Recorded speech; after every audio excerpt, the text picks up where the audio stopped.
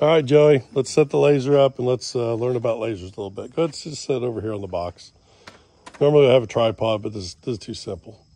Go ahead, turn that thing on, and uh, you need to check it and make sure it's zero, okay? Remember how we did that the other day? So what he's doing is, is a slope laser. We want to make sure it's, we're going to level fast. So look, zero, zero. So we're dead level. So why don't you grab that and run on up to the top of the bridge. Let's just use that for a shot. And you get a shot on that thing and we're going to figure out the difference from there to here, okay?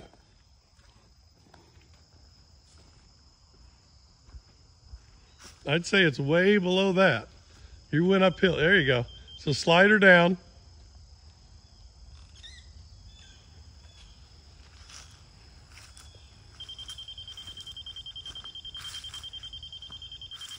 Good. All right. Lock that in. That's good. Beautiful. Beautiful. Good job. Okay. Now bring it on down this way. Bring it on down. And what are you reading as you're walking? Oh, my. Yeah. What's the height? Uh, one foot five. One foot five. Easy number. Okay. Come down here and let's just shoot right here at the end of this asphalt right there. That's good. So just take it down, slide it up, and we're going to see what the difference is from there. Or so one foot five. And just slide her on up till it beeps solid. Keep going, keep going. And you're a little bit crazy looking there. I'm trying to hold it. Yeah. A little higher.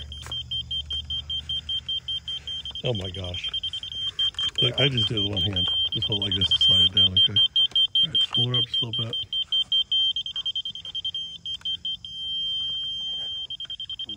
Okay. One foot five, and what do you got there? 210? Yeah, 210, so what's the difference? It's hard to do it with 12. Huh? Don't, it's simple. One foot five, 210. Just count them. Just do it with your finger. Go now, go to one foot five. So you can always do this. One, three, four, five, six. Sounds silly, but sometimes doing it the physical way, it's just similar. Huh? 17. 17 inches. Okay. So let's put it in the middle of 17, close to it. And let's shoot that and find out where that spot is on the ground over here. So you can just count down eight and a half. Okay. There you go. So go find grade now. Give me your best guess. Definitely gotta go higher. Keep walking backwards. You can hear it. When it beeps slow, you gotta go up. Faster, faster. Just move on back. There you go. Oh, pretty good. Okay, so there it is right there. So go ahead, turn the laser around backwards so they're making more noise. And if we were we were doing, we could figure out slope. We can figure out everything we want on this thing, but kind of get the idea of that, right? So I'll go inside. I'll figure. I'll show you how to do slope and everything here later on the video. Kind of give you some ideas. Right? Okay, we got a laser set up on the trash can, and Joey's going to show you a trick I showed him. And what's the first thing about trash can? You never set a laser on a trash can. This is just an example, people. Okay, Joey, I want you to shoot the floor of the garage. So he's to go in here and he's getting at the height, sliding it down, and lock her in. Okay, so we got a height of a floor here of a garage, and I want to know at the basketball goal at the asphalt what the difference is. So run on over there, bub, and show everybody the trick I showed you. So he keeps it where it is. He raises it up. He puts his finger on a solid foot mark and he slides it down how many inches? Eight inches.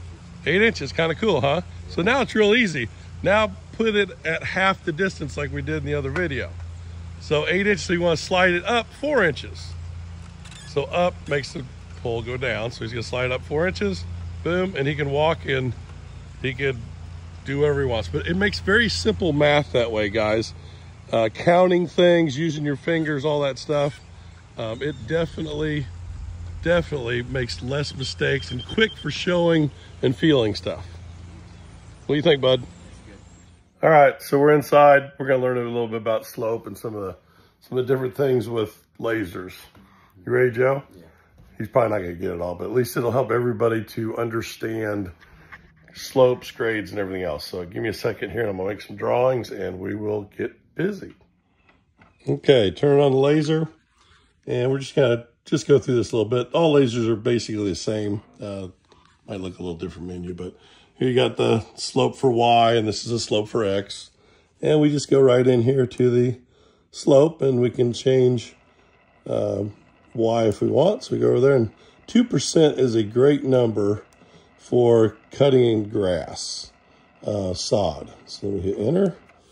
So now it's stopped and the laser is now tilting upward, or like this picture is, positive this way. If we wanted to, so we're at the bottom of our hill, let's say, and we're going to cut it to a new grade, or bottom of our swale where, where the water ends. But you can go the opposite, you can go negative, uh, but we're just using plus, and we're using Y that's just straight this way. These are the sights. You sight with this so that you sight in line. You've got to have your laser sighted. If you're 10 foot off a pipe and you're going to dig to another pipe, then you've got to sight 10 foot over so you're parallel with the sightings to get perfect. These things are so amazingly accurate, it's hard to believe. But you can kind of see, well, isn't that funny? Look at what it does in the camera. There it goes. So that's that's throwing that beam. That's what you measure down from. And I'll start showing you how to calculate slope. Uh, like I said, 2% is great for grass, sod, and yards minimum. That's your swale should be no less than that from your house. Anything in grass, minimum. If you don't want to have your lawnmower leaving ruts and making it worse. Um, half percent, they do a lot of parking lots and stuff. That's a little light. Uh, really should be 1% or almost, or an inch and 10. Uh, that way you don't have any puddling or any water absorbing down to freeze in the winter or, or whatever for uh, damage. So those, those are two good points when you're laying anything out. 2% is the minimum you should do, which is a little over 2 inches and 10 feet. Okay, let's use a calculator on my phone to figure slope, and let me show you a couple ways. It's really simple.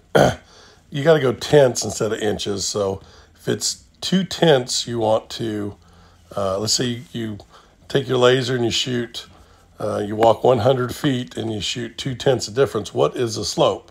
So 2 tenths divided by 100 feet uh, equals times 100.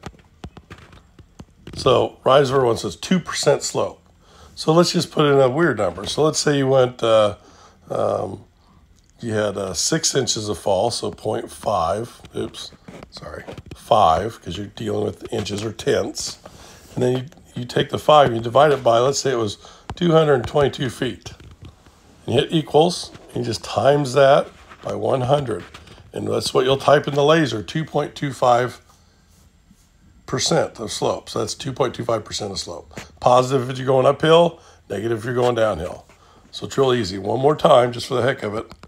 If you are, um, you've got uh, a foot, so that'd be 10 tenths or one foot divided by 450 feet equals times 100. That's the percent.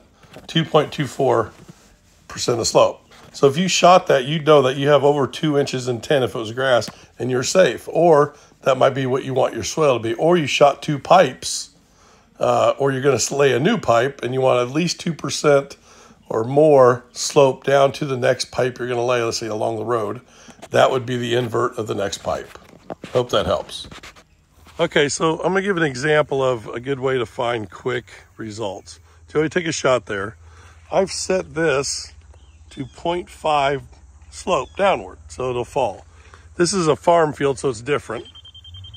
He's setting it now. So I know from this building, 0.5, how much fall we got, and there's a creek over in these woods. So I get down a lot deeper, but let's just see what we got to deal with.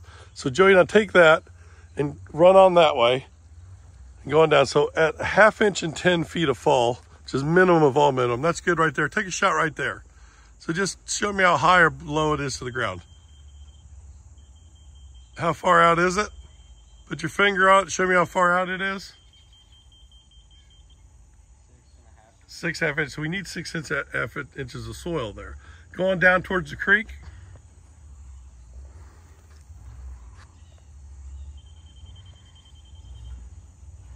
Okay, so this is why you don't have to measure. So right there is, a, how far, you about an inch out? Okay, right now, if we grade this back to what it should be. I mean, if we grade this flat, because there's dips everywhere and all kinds of stuff, at a half inch and 10, it gets to the, there. In the creek, it's down a lot lower, so we can get some more. So we'll end up taking an inch and 10, but this way, if I start at a half inch and 10 from the building, I can go any direction away from it and see if it's got minimum of all minimum falls, farm fall, not, not nice yard fall. And I can, I can change. So I would put this at probably 1%. So we'd be down about another, I don't know, eight inches there or so, whatever it is. And then we go back into the trees to the woods. And that's what I'm to end up doing. But this is just a simple way to show you without measuring the distance from this barn to there and doing rise of a run, it gives me an idea already how much we got to deal with. So I can change this to 1% fall and then have him shoot again up here and go down there and shoot and go into the woods until he finds that spot. And we know that's what the cut would be to make it drain. Hope that helps.